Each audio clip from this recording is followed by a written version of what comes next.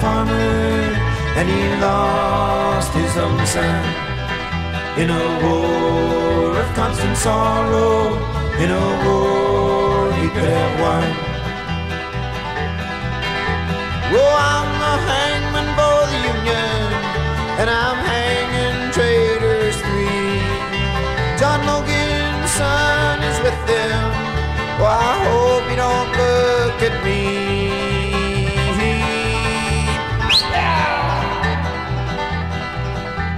John Logan was a farmer and he lost his only son in a war of constant sorrow, in a war he could have won.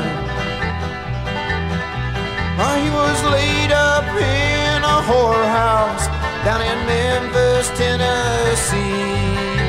The soldiers came and got him, and they sent him down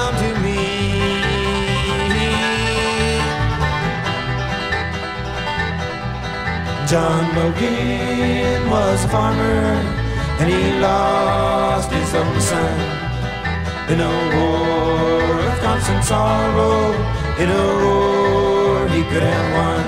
Don't let it boy. Cause he was just a drummer boy, a lad of seven